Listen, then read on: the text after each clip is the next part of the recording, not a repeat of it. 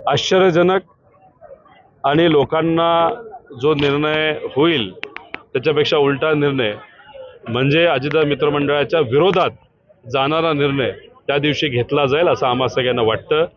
कारण तुम्हाला बघायला मिळेल की हळूहळू हे जे सगळे पक्ष आहेत एका पक्षाला आज ताकद दिली जाईल एका पक्षाची आजच ताकद संपवली जाईल आणि विधानसभेच्या आधी दोन्ही पक्षाची ताकद संपवली जाईल. त्यामुळे एकतीस तारखेचा निर्णय हा अनेक लोकांना आश्चर्याचा असेल.